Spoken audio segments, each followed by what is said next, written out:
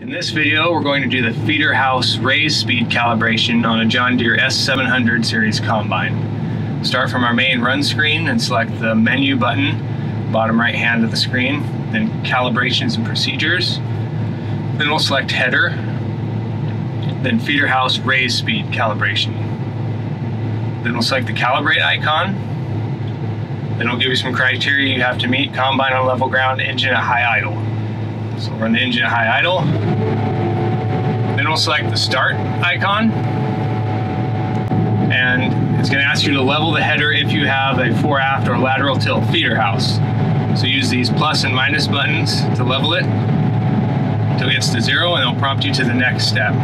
So we'll lower the feeder house so the header's resting on the ground.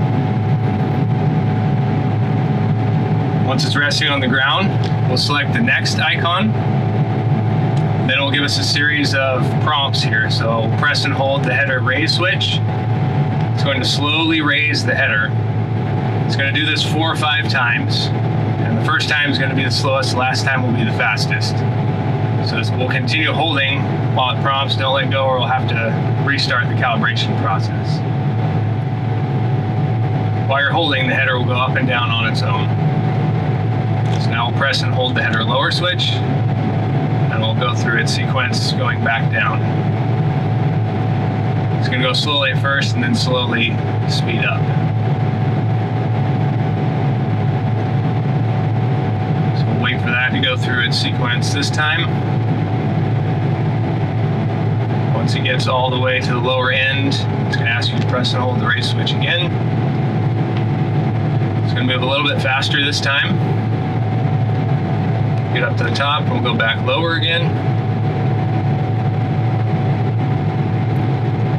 You'll just be repeating this up and down process until it's satisfied. Now we'll go back with a raise. Back to lower. And raise again.